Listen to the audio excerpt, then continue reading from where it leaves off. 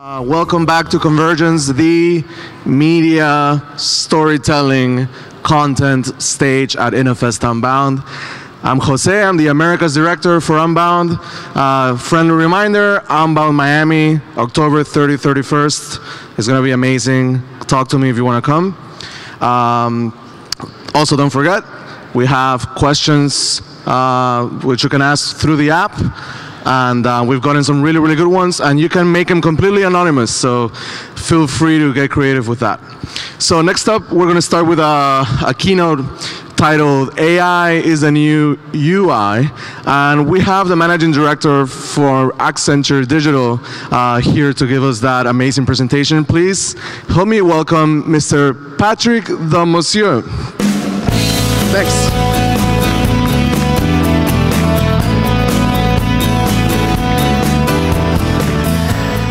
So good afternoon, everyone. So actually, there is a question mark at the end of the title, right? So is AI the new UI? So I'm Patrick Demoustier, Managing Director at Accenture Digital. I am an engineer by training, computer science, uh, artificial intelligence. So technically I am a geek, but actually I'm not because I'm a people person. So in all my life I've been working at the intersection of my skills, technology and machine, and my passion, people and human. And this is what we're going to be talking about this afternoon, and I'm very excited to be here with you.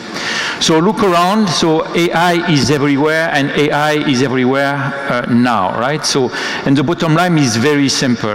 The businesses that understand how to harness AI are going to surge ahead. The ones that neglect it are going to fall behind, right? So which side do you want to be on, right? This isn't the question you need to answer on, right?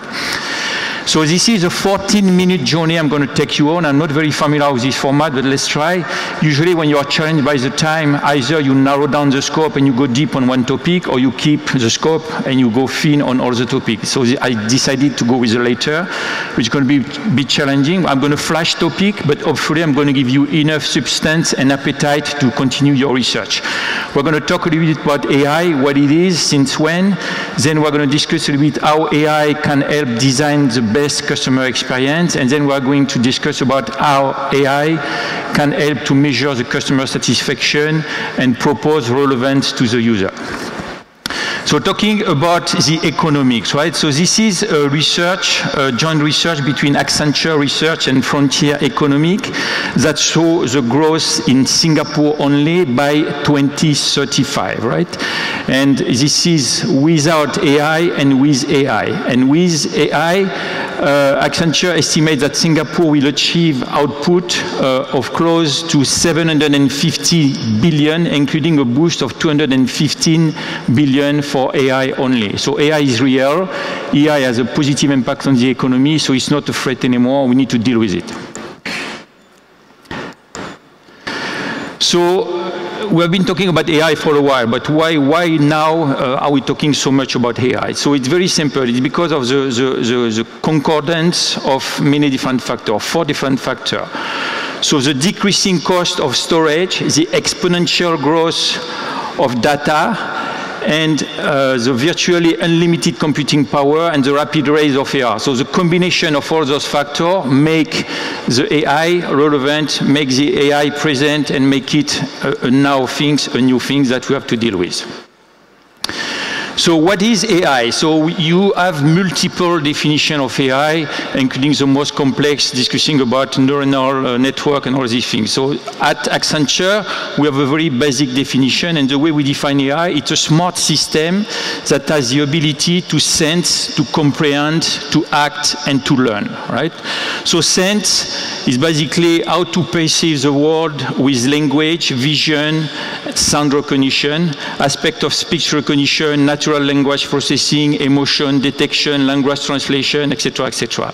So comprehend is analyze information based on a given knowledge base and rules to draw logical conclusions. So basically, you can think about a radar in an autonomous vehicle. It can measure the speed, you understand, and you comprehend what the speed is. So moving to the act, so it's take action that can be to communicate a basic uh, response back or to control a physical uh, actuator. So if we use the example of the autonomous vehicle, so there is a vision system that detects a sign on the side of the road that sees the, the speed limit. You have your radar, and then you act and you control the speed of the vehicle in order not to overspeed, right? And finally, you have the learning process, uh, whether there is a human intervention in it or whether the machine learns itself. So basically, uh, ability to sense, comprehend, act, and learn. So AI, so there are different ways to, to, to, to, segment it and to explain. From the bottom to the top, uh, the technology is usually organized around three groups, the language, the vision, and the sound. And when you move up, this technology offer you different type of capability, uh, virtual assistant, RPA, case load analytics, text mining, video analytics, uh, secure identity, and everything. And those capability can be applied to different use cases, like uh, typical intelligent connected enterprise, processes transformation, intelligent product, unlocking trap value, etc., etc. So artificial intelligence delivers value to enterprise. It's not just R&D, it's not a gadget, it's real. So if we look at more concrete example, so for instance, I'm just going to illustrate one of them, the intelligent product where you have the share bicycle. Last week I was at the Sofitel in Tanjong Pagar. I was at the lobby and I saw a robot cruising the lobby. And I asked the manager, what is that? And basically he explained me that those robots deliver uh, the room services. So they go to the kitchen, they take the room services, they cruise in the corridor, they go in front of the elevator, they dial the elevator for the right floor, they exit on the right floor, they cruise to the corridor, they go to the room, they dial in the phone into the room, and then someone come and pick up the floor. I think it's a very good quality of service because for me, when I order room services, usually I am moody, I'm half naked, I don't want to see anyone, I don't know if I need to tip the guy or not. So talking to a robot is very good quality of service. So AI is here, it's available, and it's now. So it sounds like machines are doing a very, very good job. So how many of you has been frustrated lately experiencing a poor uh, interaction with a chatbot? Okay, so it doesn't sound like machines are doing a, a, perfect job because when we look at machine and when we talk a little bit with people in more detail and in depth, uh, most of the people when they have a problem they prefer to deal with a human being person and there are also empathy issues, there are some issues with machine. So machine only is not the right answer to defining the best customer experience. So is human the best uh, exp experience and the best solution? Or should we retire and decommission all the machine and all the robots? So by the way, same question. How many of you have been frustrated lately experiencing a poor uh, interaction with a customer service with a human being person? Oh, there are much more, many hands up, right? Okay, so same thing here. I mean, so people are looking for speed, they're looking for qualities, they're looking for context that most of the human being cannot propose and cannot provide on a real-time basis. So human only is not the right answer as well.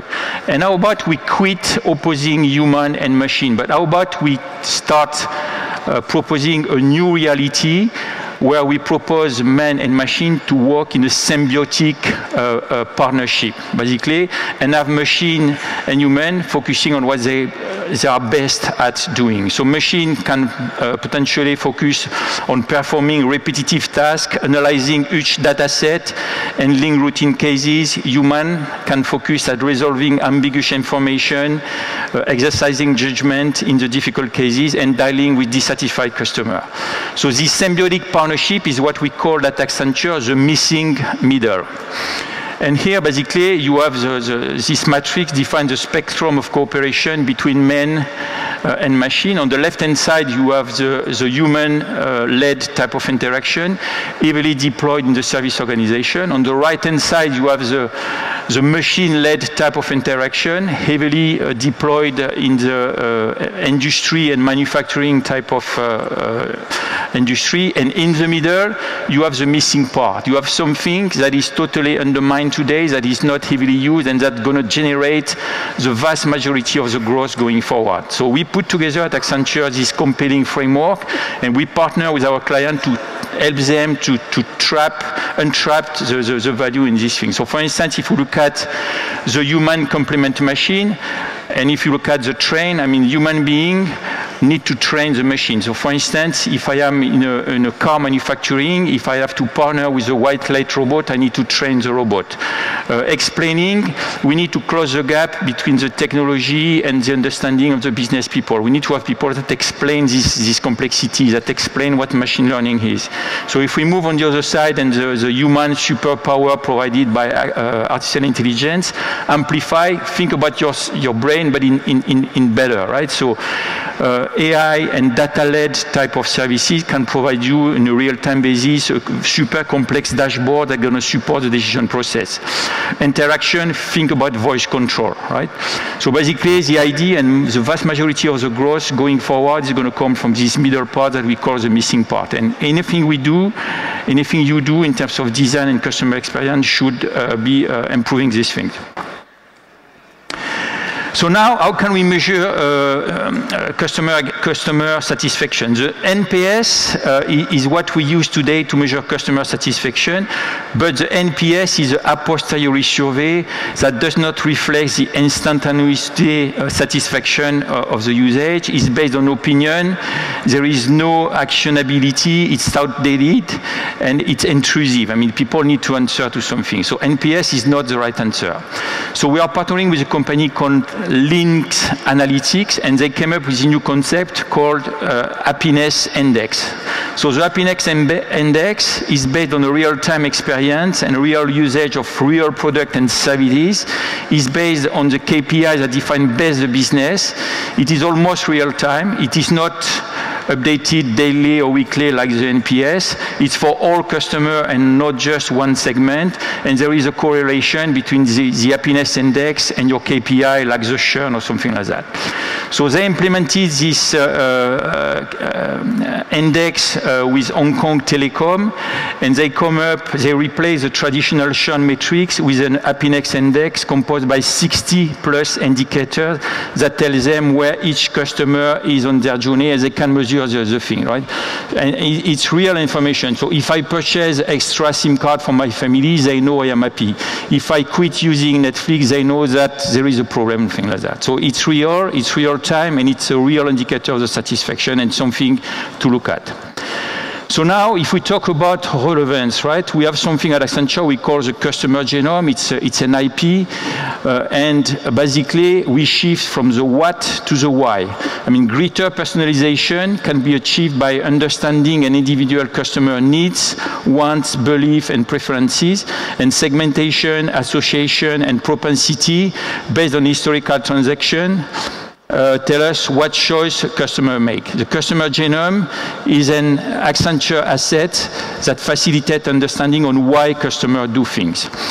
So basically, on the right-hand side, you have the genome, and the genome is composed by product genome, personality genome, and channel genome. On the left-hand side, I mean, we define the different channel and we, we, we collect data. So here we have Clara. She buys chocolate, so we update her product genome engine, and she likes chocolate.